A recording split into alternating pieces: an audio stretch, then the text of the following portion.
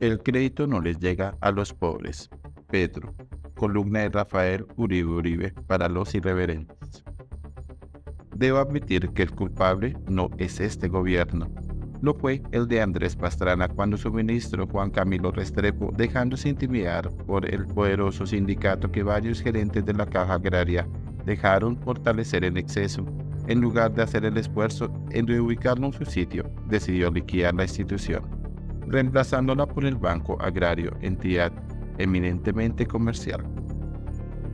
Hasta donde yo conocí, laboré en la Caja Agraria por nueve años bajo la gerencia de Augusto Espinosa Valderrama y José Elías del Hierro y una junta directiva de primer orden. Era una entidad impecable.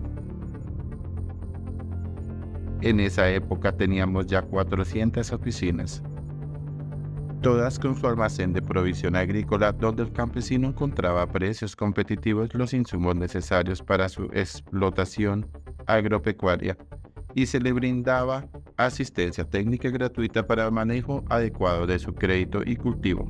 Salvo contadas excepciones, la cartera vencida jamás excedió el 8,5%.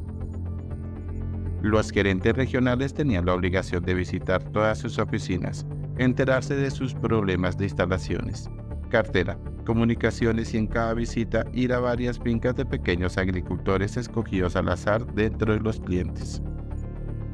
Las primeras medidas tomadas por el Banco Agrario fueron el cierre inmediato de muchas oficinas obligando al campesino a grandes desplazamientos para la obtención de su crédito o los insumos.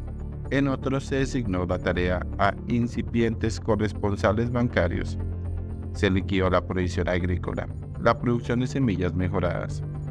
Se entregó la asistencia técnica a ingenieros agrónomos y veterinarios particulares, pero a todos los niveles, desde el más pequeño campesino hasta los medianos y grandes productores, y se suspendieron muchos servicios que para los particulares no era rentable atender, solo para mencionar algunos.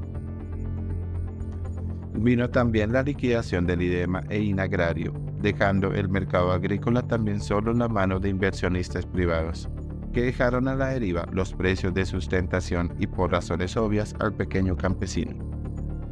No es con discursos que se soluciona el problema, es analizando lo que funciona o funciona en el pasado y darles a entidades modernas existentes las herramientas necesarias para solucionarlos en tuerto.